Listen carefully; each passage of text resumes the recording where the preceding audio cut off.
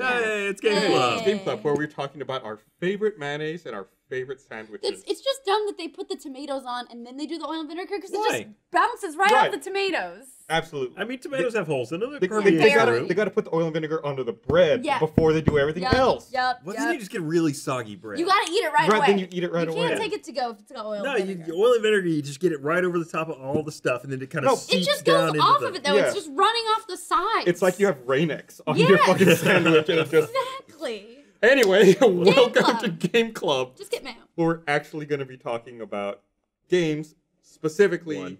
The Stanley Parable. It's actually our whole sandwich talk is actually like a deconstructed It's idea true, yeah. of what a human life is. Well, It's a it's an examination of the sandwich experience. Right. and all of the choices presented when it comes to dealing with sandwiches. That's what we planned it. That's how we set this up. I'm just hungry because Ryan took so long. Uh, we got some Ruby, Rudy's over there. You want Oh, whoa! You look at you eating fucking lunch, and I'm over here starving. Anyway, Gus So knew. the Stanley, I'll, I'll eat some after this. The Stanley Parable started as I, I feel like I've got so much space. I know. It started as a mod for Half Life 2, uh, and is now its own standalone game, uh, which you can get. Uh, I don't know all the platforms it's on. I played it on Steam, yeah, we played on Steam. uh, but it's uh, it's I think we fifteen dollars. just determined that was it. It is on Steam. Oh, is that Yeah. it? Okay. Um, and it's it's a game where you play someone in an office, and there's a narrator talking about your life, and he narrates the choices that are presented. And it's just like there's no combat. There's nothing really to the game other than like walking around, exploring the space. yeah, it's a- it's very gone home. Yeah, it's a game about choices. I mean, entirely about choices, including up to the point of do you embrace the narration and the narrative that's being laid out, or do you just completely say, no, that's not what I'm going to do and go the opposite direction? Right. So the narrator, for example, might say there are two doors in front of him. He chose, you know, the person chose to go through the right door, and you may say, "Well, fuck that," and go through the left. There are um I, when I first started playing, I texted you, but you didn't, you probably didn't see it. Um, when I first started playing, the mouse wasn't working, so I could only like I was only looking You one direction, strafe. and I was like, maybe this is part of the game. So I played for like five minutes like that. And I was like, Ashley, is this how it's supposed to be? And she's like, no, it's broken. So I just shut it down and restart it. I, you know, you, You never made a know. good first choice. You never know. Shut it down and open it again. terrible. I, uh, I, I I did something so not on the Stanley Parable, but on an old game years ago. And there was an Xbox 360 game that came out, and when I was playing it, my character just kept shooting nonstop, and I was like, okay, that's a weird mechanic. I guess your character's just always shooting, and and you just point your character where you want you know stuff killed, and then I realized, oh no, the controller's broken. Like the trigger is just constantly pulled. Like I played like the first hour and a half of that game, and somebody else saw me like, why are you always shooting? Like, oh, is that not the game? Yeah, oh shit. Did you never run into a friendly and wonder why you're just pegging No, him in no, the no, head? It was Okay. it was uh, that, that terrible game wet. Uh, so there was not much much lost.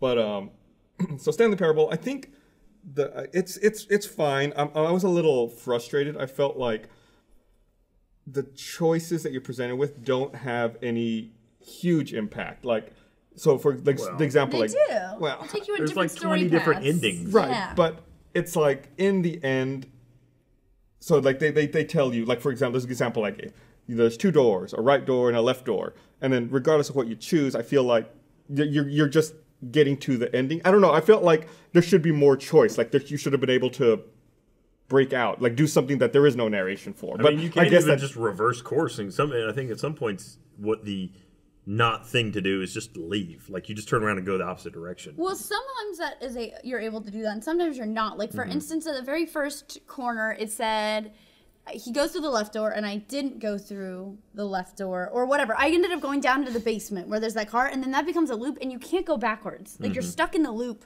Once you're in the loop, you're stuck until like you hallucinate stars and you levitate and all that, and then you just die. Yeah. And they all end up with him dying. Like he just No. dies in every, No. every one of them. Oh, I, all of mine died. I died in all of them. So I don't think I ever had one where I died. Really? Yeah. I died when I went to the basement because it's like he starts hallucinating and then he just dies.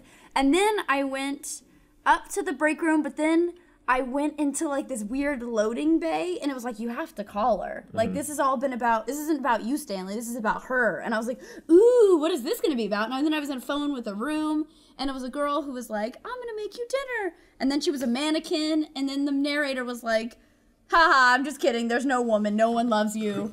And then it became like, as I pressed more buttons, it was like, you're in your office still. Like, why don't. And then he was like, stop pushing buttons. But then I would choose not to push the button, and nothing would happen. Like it would just like nothing would happen. I Time thi- would go by. I think there's uh, is I think there's a Steam achievement. One of them is to like try to open a locked door a hundred times or something. It's like there's a door there's a door that you can't open. So they do that a lot where they'll put something in front of you and tell you not to do it, but then in the end you get rewarded for doing Yeah. it. Yeah. Although when I got into the one that was like the girl who opens the door to the apartment and it's the mannequin or whatever, and he's like fucking with you, I back. She opened the door and he was like, "Haha, there's no woman. I've been fucking with you."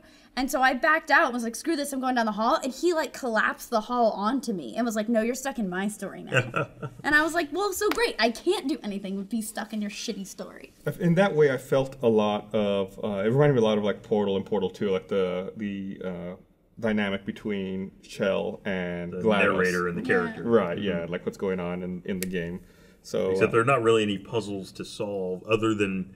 Uh, I mean, the puzzle of this game is what sequence of events leads to what ending. Yeah. and does make it, you're gonna basically be confronted with a series of choices and the choice that you make will result in a different ending you, it doesn't there's not a lot of flexibility in those choices they're all in a way very linear choices it's like it's a it's they're not like branches that you may possibly recombine with other paths and then or go different directions it's like this choice this choice this choice this choice will lead to this outcome Yeah.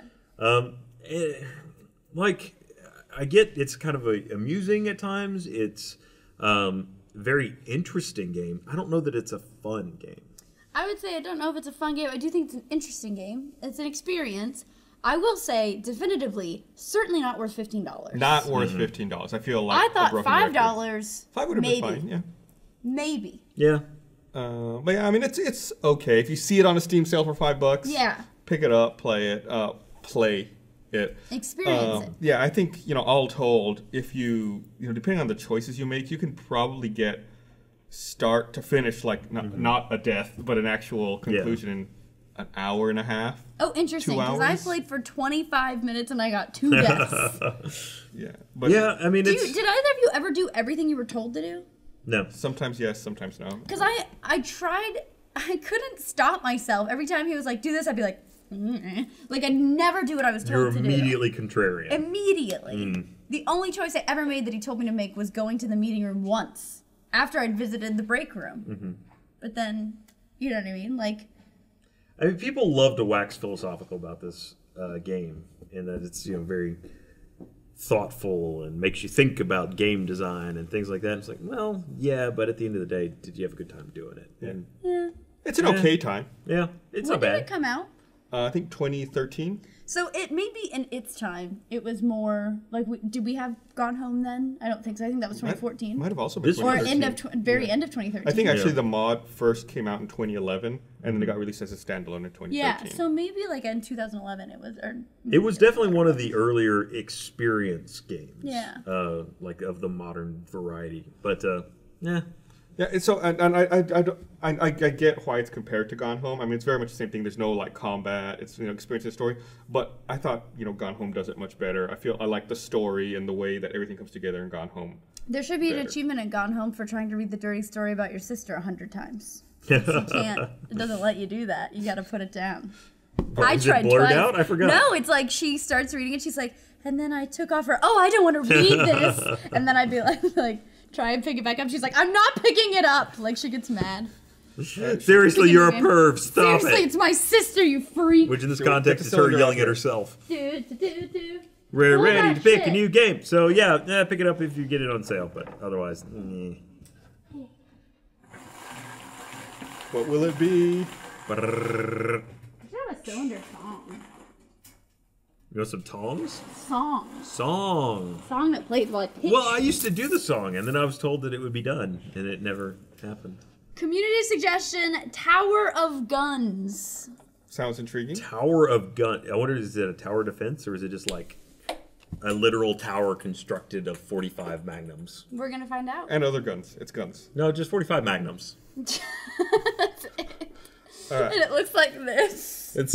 I'm support. I'm building it right now in my mind. Why are you building so willy nilly? Look, uh, it's a loose framework of 45s It's just, that will eventually. It's you, gonna I feel like it's very helter skelter at this moment. I don't feel good don't about question it. my structural engineering, okay?